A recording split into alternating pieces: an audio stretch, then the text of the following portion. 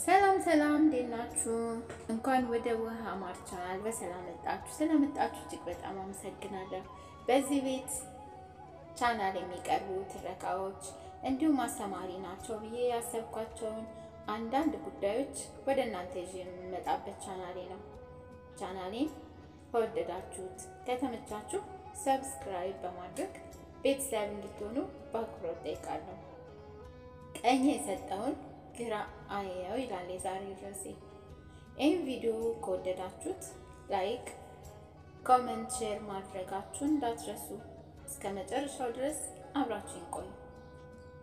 እኔና ጓደኛዬ ከስራ በኋላ ተገናኝተን መኪና ውስጥ ሻይን እየጠጣን እያወጋን ነበር። ድንገት በአንድ የመኪናችን መስኮት በር ተንኳኳ። ጎስቆል ያለ አዛውንት ልጆች የአንድ ብር ስጡኝ ብለው የተማጽኖ ቃል በሌለው አኳኋን ጠየቁ።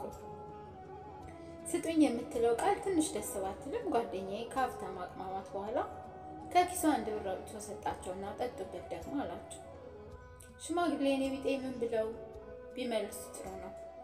አይ የለም ቤት ሰራበታለሁ። እኔም ሆንኩ ጓደኛዬ ፈጽሞ ያልጠበቅነው መልስ በመሆኑ በሳቅ ፈረስን።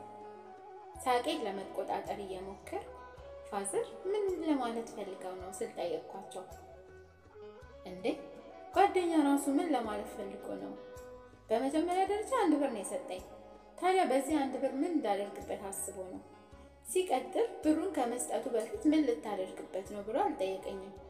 ታዲያ ከሰጠኝ በኋላ ምንስ ባደርግበት ብሩን ነፃ ፈቃዱ ምን ያደን እንዴ? ምን ገዶት ያዘኛል በገዛ ብሬ? የሽማግሌው መልስ በአንድ በኩል ትክክል ነው፣ ምክንያታዊ ነው። በሌላ በኩል ግን ድፍረታቸውና ግልጽነታቸው ገረመኝ። ጓደኛዬ ቀጠለ። እሽ አሁን ልጠይቆት ምን ሊያደርጉበት ነው? ልጠጣበት አሉ ሽማግሌው ቀለል አድርገው። አሁንም ሳቅ ያመለጠኝ። እውነቶትና አልኳቸው። እውነቴን ነው እንጂ ልጄ፣ በዚህ እድሜ ምን እንደምን ዋሻለሁ? አሁንም በምላሻቸው ተገርሜ ምግብ በልተዋል ስል ጠየቅኳቸው። ቁርስ በልቻለሁ አሉ። አሁን እኮ ራት ሰዓት ነው አራቦትም? መራቡንስ ርቦኛል፣ ግን የሌሊቱ ብርድ ከነ ረሃቤ ስለማልችለው ነው አረቄን የምጠጣው። ውስጤን ለማሞቅ አየር እናንተ ሁለቱንም ማድረግ ትችላላችሁ፣ እስከሚበቃችሁ ራታችሁን መብላት እንዲሁም መጠጣት። እኔ ግን አንዱን መምረጥ አለብኝ። ስለዚህ የእንቅልፍ ክኒንና አረቄን ጠጥቼ ለጥ እላለሁ። የሽማግሌው ንግግር እኔና ጓደኛዬ ሆድ ውስጥ እኩል ዘልቆ የገባ ይመስል ሁለታችንም እኩል ቀና ብለን ተያየን። በአይን ቋንቋ ብቻ አልተግባባንም። ፋዘር መኪና ውስጥ ይግቡ፣ እኛ እራት ልንበላ ስለሆነ አብረን እንበላለን። በዛውም ጨዋታው ደስ ስላለን አንድ ሁለት እያለን እናውቃለን። ሽማግሌው መኪና ውስጥ ላለመግባት አምባጓሮ ፈጠሩ። የለም መኪናችሁን አቆሽሽባችኋለሁ። በመከራ አሳመናቸው። ከኋላ ገብተው ተሳቀው ተቀመጡ። ቁጢጥ አሉ ማለት ይቀላል። በቅርብ ወደሚገኘው አንድ ሬስቶራንት አመራን። ሽማግሌው የኔ ቢጤ ስማቸው ጋሽ በቀለ እንደሆነ ነገሩ። እኛ ግን ወዲያው ጋሼ በቄ ብለን ጠራናቸው። መኪናችንን አንድ ምግብ ቤት ውስጥ አቁመን ወደ ሬስቶራንቱ ልንገባ ስንል የሬስቶራንቱ ጥበቃ ወዴት ነው ጋሽ በቄ ላይ ብሎ ጋሽ በቄ ላይ ፈጠጠባቸው። ጓደኛዬ በንዴት ቦግ ብሎ ከኛ ጋር ናቸው ብሎት ገፍትሮት ለመግባት ሞከረ። ይህን ጊዜ ሁኔታችን ከውስጥ ሆኖ ይከታተል የነበረ የሬስቶራንቱ ማናጀር ጥድፍ ጥድፍ እያለ ወደኛ መጣ። ይቅርታ ችግር አለ ሲል ጠየቀ ጠበቃውን ጥበቃውን ቀልጠፍ ብሎ ለማናጀሩ በጆሮ የሆነ ነገር ሹክ አለው። ማኔጀሩም ትንሽ ካቅማማ በኋላ ይቅርታ ወንድሞቼ፣ ሬስቶራንት ውስጥ ትልልቅ እንግዶች ስላሉ ውጪ ላይ መቀመጥ ትችላላችሁ ሲል በተማጽኖ እጅ ነሳ። ይህን ጊዜ ጓደኛዬ ብሱኑ ትክ ብሎ እኛ ትንሽ ነን፣ ለምን የቆሸሸ ልብስ ስለለበሱ ነው ትልቅነት የሚለካው? ባለባበስ ነው። በጣም ያሳዝናል በማለት ተናገረ። ጋሽ በቄ በፍጹም እርጋታ በብስለት ፈገግታ የጓደኛዬን ትከሻ መታ መታ እያደረጉ ተዋቸው ልጄ፣ እነሱ እኮ የታዘዙትን የሚፈጽሙት ከህሊናቸው በላይ ደሞዛቸው ስለሚጠቅማቸው ነው። አትፍረዱባቸው። አንተ እንዳልከው ትልቅነት በገንዘብና በቁስ የሚለካ አይደለም። የሰው ትልቅነቱ የሚለካው በአእምሮ ነው፣ በብስለቱ። ያ ብስለቱ ደግሞ ሁሉን ንቆ ስቆ እንዲያልፍ ሊያስችለው ይገባል። ጋሽ በቄ ከፊት ለፊታችን እየተራመዱ ግድ የለም የለም ኑ ለእኛም የውጭ አየር ይሻለናል፣ በዚህ በነፃነት እንጫወታለን፣ አየሩም ግሩም ነው ብለው አንድ ጥግ ላይ ወዳለው ጠረጴዛ አመሩ። የጋሽ በቄ እርጋታ፣ አስተዋይነት ከእድሜያቸው የሚጠበቅ ቢሆንም የእርሳቸው ግን ለየት ያለ ነው። ፍጹም ቅን፣ የዋህ ብሱል ናቸው። በነገሮች ቶሎ አይደነቁም፣ ቶሎም ቅር አይሰኙም።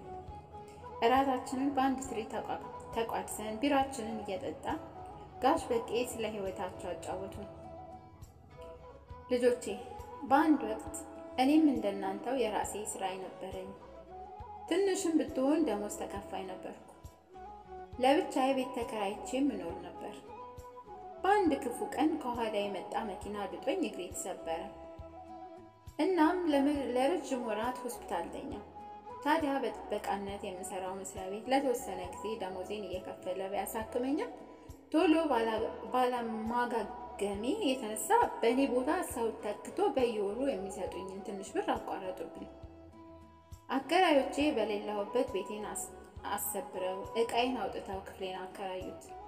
ታዲያ የቅርብ ዘመድም ሆነ ጓደኛ ስላልነበረኝ በክራንች ድጋፍ መንቀሳቀስ ጀምር ከሆስፒታል ወጥቼ ጎዳና ላይ መኖር ጀመርኩ። ይገርማል። በአንዲት አጋጣሚ ህይወቴ እንዲሆነ ይኸው እስከ ዛሬ እዚሁ ጎዳና አለ።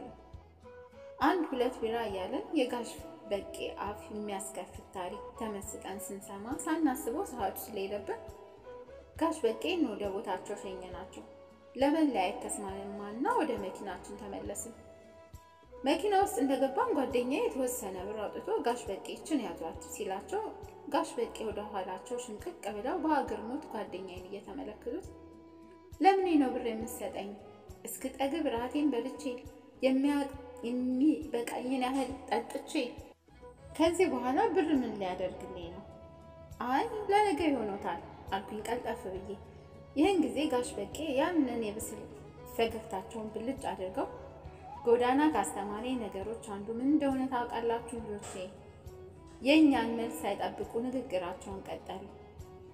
ጎዳና ካስተማረኝ ነገር አንዱ ስለ ዛሬ ብቻ መኖር ነው። የጎዳና ኑሮ በቅጡ ከተረዳውበት ቀን ጀምሮ ገንዘብ ይዤ ተኝቼ አላውቅም። እራቴን በልቼ አረቄን ጠጥቼ ብር ከተከፈለኝ የቀረኝን ገንዘብ ለሌላ አይኔ ቤጤ ሰጥቼ ተኛለሁ እንጂ በኪሴ ገንዘብ ይዤ አላውቅም፣ ተኝቼ አላውቅም። እኔ ገንዘብ በኪሴ ይዤ ተኝቼ ስለምን የሌላውን ወንድሜን ጾሙን ያድራል? የቤት ኪራይ የለብኝ፣ ግብር አልከፍል፣ የማብራት የውሃ አልል። ለምንስ ብዬ ብር አጠራቅማለሁ? የዕለት ጉርሴን ካገኘው ተመስገን ብዬ መተኛት ነው እንጂ ልጆቼ፣ እያንዳንዷ ቀን የራሷ እድል አላት። መጥፎም ይሁን ጥሩ እኛ ሰዎች ማለት አይናችንን በመሀረብ የተጋረድን አይነት በደመ ነፍስ የምንጓዝ እንስሳ ማለት ነው። ከፊታችን ያለው የማናይ የነገን የማናቅ ህይወታችንን እኛ የምንመራት ይመስለናል። ዳሩ ግን ህይወት የራሷ መንገድ አላት። በራሷ መንገድ እራሷ ትመራናለች። ይሄ ነው በእኔ ህይወት የሆነው። የእኔን ህይወት የቀረቻት አንዲት ክፉ አጋጣሚ ናት። እንዲህ ሆናለሁ ብዬ አንድም ቀን አስቤ አላቅም ነበር አሉ። ሂዱ ልጆቼ እንዳይመሽባችሁ። እኔ አንድ ወሬ ከጀመርኩ አላቆምም። ጋሽ በቄ በሩን ከፍተው ከወጡ በኋላ መረቁ። ልጆቼ እግዚአብሔር ይስጣችሁ፣ ያሰባችሁበት ቦታ ድረሱ አሉ። አበቃው። ውላችሁ ያማረ መልካም ይሁን። እናንተም ለሌሎች መልካም ሁኑ። መልካምነት መልሶ ይከፈላልና። እንግዲህ እንደተከታተላችሁት ይህን ይመስል ነበር። እንደወደዳችሁት ጠቃሚ የሆነ መልእክት እንዳገኛችሁበት ተስፋ አደርጋለሁኝ። እንደዚህ አስተማሪ ነው ብዬ ያሰብኳቸውን ይዤ ወደ እናንተ እስከምመጣ ድረስ ቸር ሰንብቱ። ቻው bye